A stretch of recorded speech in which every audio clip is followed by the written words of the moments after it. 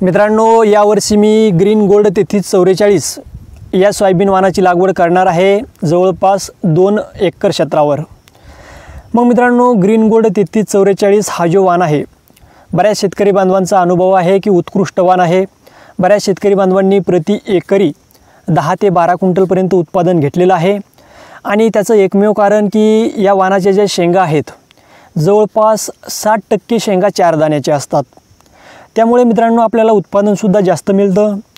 आणि green gold तेहतीस चौवेचाळीस हा जो वाण आहे संशोधित वाण आहे green gold seed private limited Aurangabad या ठिकाणी रिसर्च करून विकसित केलेला वाण आहे.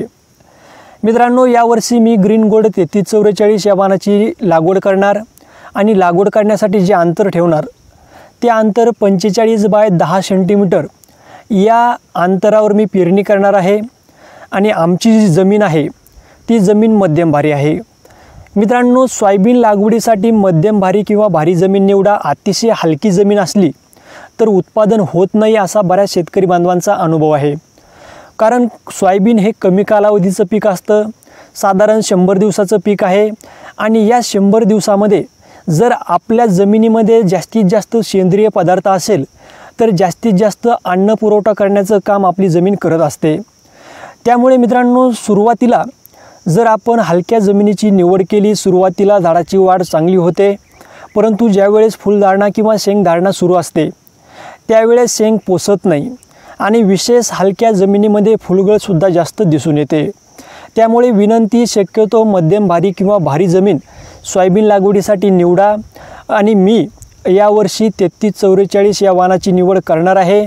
कारण आमची जमीन थोडी मध्यम भारी आहे. अतिशय भारी नाही आणि आमच्याकडं पाण्याची सोय नसल्यामुळे आम्ही फुले संगम या वाणाची निवड करणार नाही. मित्रांनो ग्रीन गोल्ड तेहतीस चौवेचाळीस या वाणाचे जे पानं आहेत कात्रीसारखे लांब असतात आणि याच कारणामुळे झाडामध्ये दाटी होत नाही. आणि मित्रांनो झाडामध्ये दाटी झाली नाही हवा खेळती राहिली तर जास्तीत जास्त प्रकाश संश्लेषण क्रिया घडते.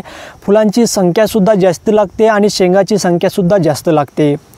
मित्रांनो जवळपास जमिनीपासून चार बोट शेंगा वर लागतात. त्यामुळे जर तुम्हाला मॅकॅनिकल हार्वेस्टरने जर काढणी करायची असेल तुम्ही ग्रीन गोल्ड तेहतीस चौवेचाळीस या वाहनाची काढणी करू शकता. मित्रांनो आपल्याला प्रति एकरी पंचेचाळीस बाय दहा सेंटीमीटर अंतरावर आपल्याला प्रति एकरी तीस किलो बियाणे वापरायचे बीज प्रक्रियासुद्धा करायची आहे. त्यामध्ये भू बुरशीनाशक कीटकनाशक जीवाणू संवर्धन. मी प्रत्येक गोष्टीचा व्हिडिओ तुम्हाला टाकणार आहे.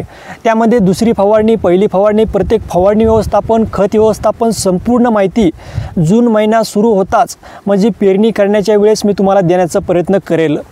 तर मित्रांनो धन्यवाद.